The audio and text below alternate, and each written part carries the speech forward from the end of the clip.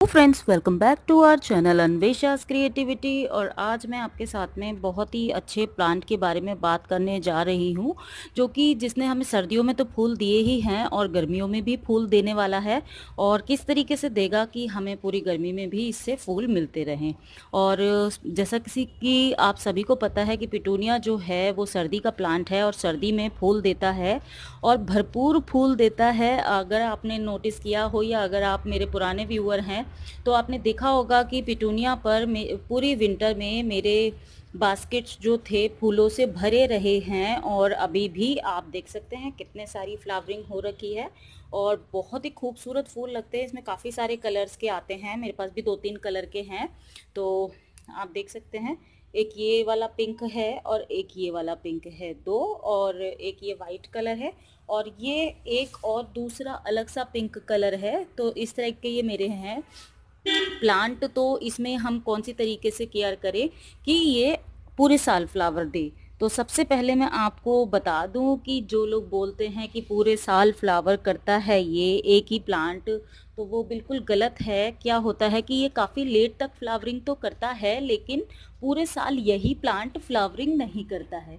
क्योंकि क्या होता है, पूरे साल कर, करेगा, लेकिन क्या होता है कि बीच में थोड़ी सी रेस्ट भी लेता है। तो दो तरीके हैं इसको आप फ्लावरिंग हमेशा लेने के लिए। एक तो इसके गर्मियों वाले भी सीड्स आते हैं।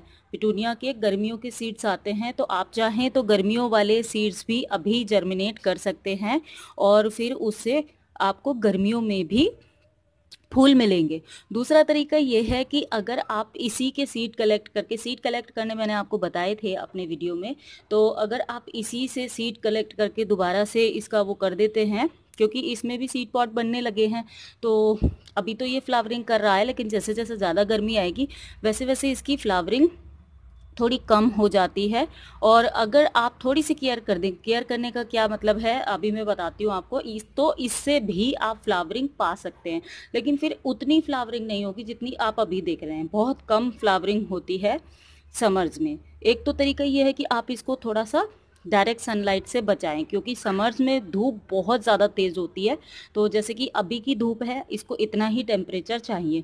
तो एकदम से सनलाइट मिले इसको सुबह की सनलाइट मिले या फिर शाम की सनलाइट मिले।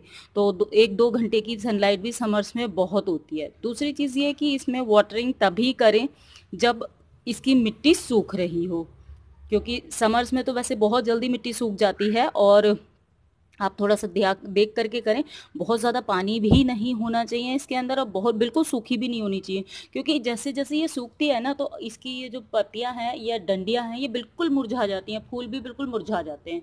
तो इसका खास ख्याल रखना है समर्स में स्पेशली, तभी इसमें फ्लावरिंग मिलेगी आपको समर्स में, कि इसमें पानी की कमी भी नहीं होनी चाहिए और बहुत ज़्यादा कीचड़ जैसा पानी भी नहीं होना चाहिए।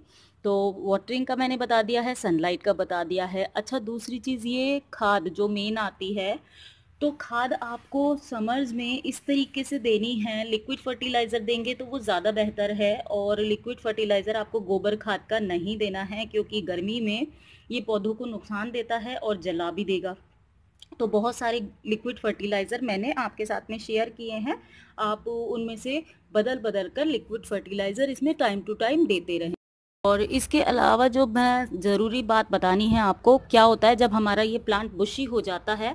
जैसे कि आप ये देखेंगे कि ये थोड़ा सा इसमें जगह है गैप है तो इसके अंदर अभी धीरे धीरे करके बुशी होगा। लेकिन जैसे जैसे ये वाला देखिए, ये वाला प्लांट मेरा बुशी हो गया है और ये वाला प्लांट भी बुशी हो गया है तो इसमें थोड़ा सा गुड़ाई वगैरह करने में थोड़ी मुश्किल होती है। तो लेकिन गुड़ाई आप थोड़ी सी हल्की हल्की करें या छोटी सी किसी चीज़ से करें, लेकिन गुड़ाई इसमें ज़रूर कर दें। अगर रोज़ मतलब हमेशा पॉसिबल नहीं है तो कम से कम बीस पच्चीस दिन में एक बार तो इसमें आप कर ही दें।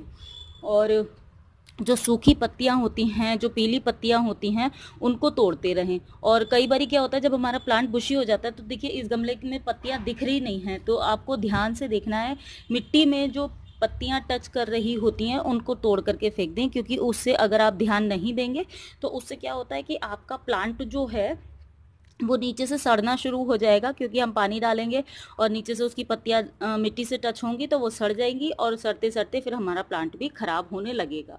तो बस इन टिप्स और ट्रिक्स को आप फॉलो करते रहिए, जो सूखे फूल हों उनको तोड़ते रहिए। तो इस तरीके से आप अपने पिटूनिया पर पूरे साल भर फूल पा सकते हैं और साथ ही साथ आप समर्स वाले भी लगा सकते हैं। तो समर वाले में तो आपको हंड्रेड परसेंट चांसेस हैं कि आपको फ्लावरिंग मिलेगी ही मिलेगी। तो आज का वीडियो इतना ही था। उम्मीद है आपको पसंद आया होगा। अगर अच्छा लगा आज का वीडियो तो इसको लाइक और शेयर ज़रूर से कर दे। मिलती हूँ जल्दी आपसे अपने अगले वीडियो में। तब तक के लिए बाय